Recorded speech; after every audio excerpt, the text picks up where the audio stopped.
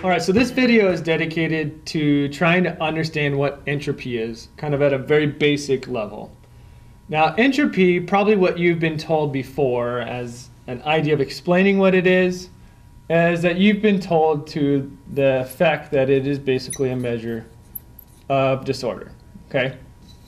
We can't say that because if we just say that something is a matter of disorder, how do we quantify disorder? We can't say walk into a room and say, this room has a disorder of 17 joules. There's no way for us to quantify that.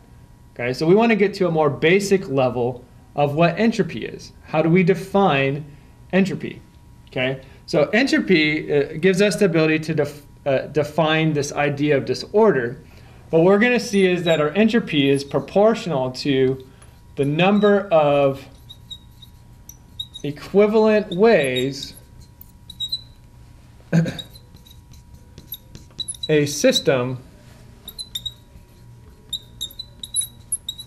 can be organized, okay, or distributed.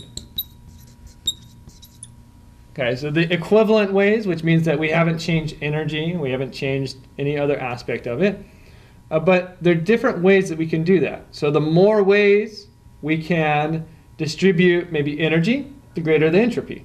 Okay, so let's look at an example of this. Let's go ahead and just say we have two atoms, okay, with a total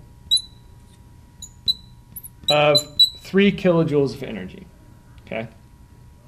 And let's say this must be distributed over one kilojoule uh, energy gaps. So we'd have zero, one, two, three, kilojoules of energy. Okay. Well, we have the possibility to have one of our atoms sit at zero kilojoules, right? The other one sit at three. Okay, and then we can also have the possibility where we have one of them sit at two, okay, and one sit at one. Okay, these would really be the only two ways that we can distribute them, right? If this if this atom's up here and this atom's down here, it's still equivalent. Okay, we haven't just changed the way that our energy is being distributed. So we have basically two ways that we can distribute energy equivalently. We have an increased total energy or decreased the total energy. Our total energy is still 3. Now what happens if we have instead, let's say we have two atoms with a total energy of 4 kilojoules. Okay, so again we're going to do with individual one kilojoule of energy gaps that they can exist at. They're, quant they're quantized there. So again, we can have one of them sitting at zero, okay, maybe another one sitting at four for a total of four, okay. We can also see that we can distribute one and three, okay, as our two possible energies.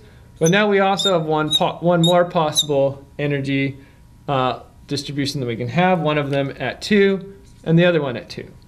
Okay, so now we see that we have three ways that we can distribute our energy here. Right here, there's only two ways that we can distribute energy equivalently. We haven't changed the amount of energy available. Here we have three.